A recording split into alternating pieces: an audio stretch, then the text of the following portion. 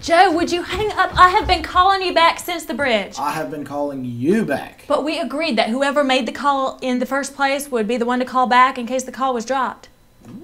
That ain't gonna work with him. Yeah, I would never agree to that. I could not do that. You know I'm going to call you back until I get you. That's just how I am. 23 minutes straight of uninterrupted redial. A lot of women would be grateful for that kind of commitment. But Joe, we talked about this.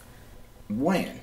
Like three weeks ago, I told you I thought it would be a good idea if the person who made the call calls back. That way we don't do this anymore. You crazy. I don't remember that. You agreed with me. Oh, hey, are any good football games on tonight? I don't know. Hold on. You're crazy, baby. Hey, so what was he doing when y'all talked about this? I have no idea why. What I want you to do right now is I want you to ask him the most ridiculous question you can think of. Right now. Go ahead.